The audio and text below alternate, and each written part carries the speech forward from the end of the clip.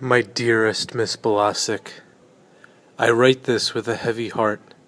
It has been many months since that fateful day when I first heard the news.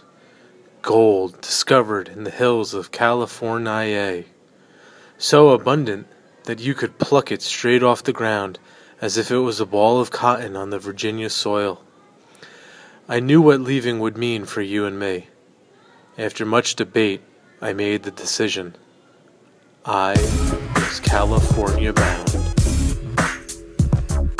Going, going back, back to Cali, Cali.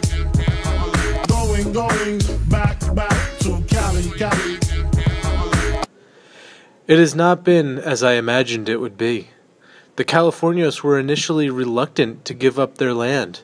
But we won the war with Mexico, so the land belongs to the Americans.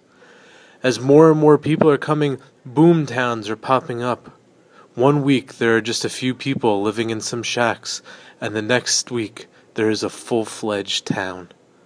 The streets are filled with people from Mexico, Australia, Hawaii, China, and all over America. They spend their days mining and their nights in the saloon or the gambling house. We are on our own here. We have no police officers, and the streets are filled with vigilantes seeking justice for stolen gold, burnt houses, and beatings. Now in 1850, there is talk of adding California as a state. This would certainly seal America's manifest destiny. My dear, I miss you so. I hope that one day you will join me in California, and together we can continue the hunt for gold.